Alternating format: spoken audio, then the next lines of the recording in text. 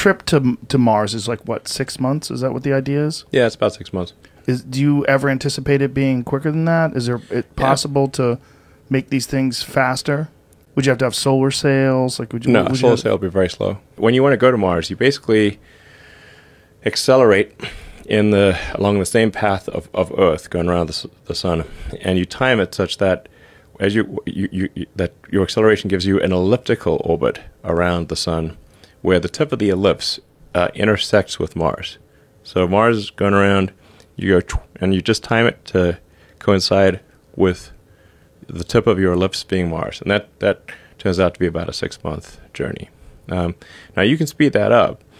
I think uh, I mean I could, could sort of see a way to get make it happen in say three months, um, where the intersection with Mars would not be at the tip of the ellipse, but on the edge of the ellipse.